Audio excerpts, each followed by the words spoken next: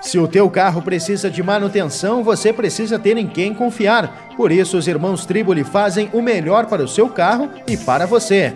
Oficina mecânica especializada e agora também com autopeças. Irmãos Triboli, Avenida Cis Brasil 2130. Se precisar, ligue 3672 1468.